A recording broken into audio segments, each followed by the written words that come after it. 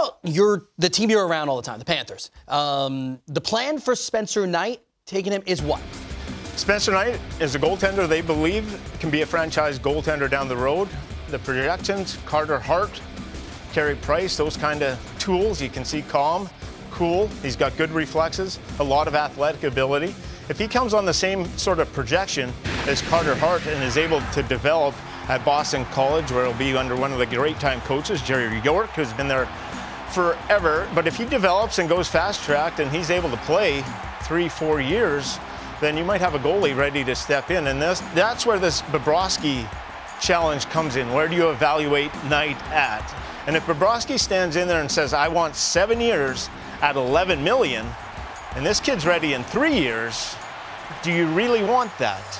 I believe the Panthers signed Bobrovsky, but it's going to have to be a deal where they feel it's favorable, favorable for them and also presents a space, some point, for Spencer Knight. You don't draft a franchise goalie in the first round and let him sit for maybe seven years eventually to come back into the fold. There, there's goaltending issues. Dale Tallon, the scouting staff, they believe in this guy. And if you have that kind of belief, you're set up in the future for a long time if you find a special goalie. He has all the tools. It's going to take him a while to develop. It's not immediate. So we'll see. And this is why this Bobrovsky thing is really interesting to me. And with the Islanders out there, and you got Coach Quenneville, you got $24 million to spend if you're the Panthers.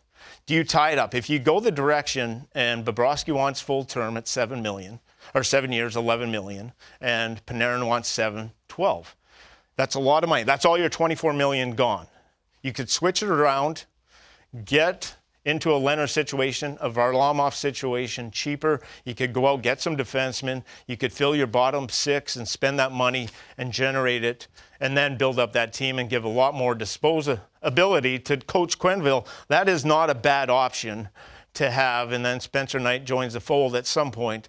So the decisions are there. And two, you have Huberdeau Trocheck, and Barkov on exceptional deals. Hmm. Exceptional.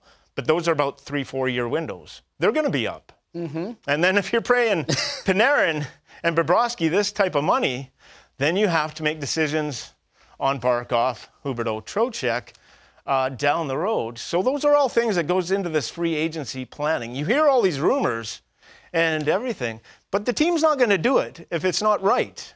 If the agent comes in and demands this is what it is. They're not going to take it.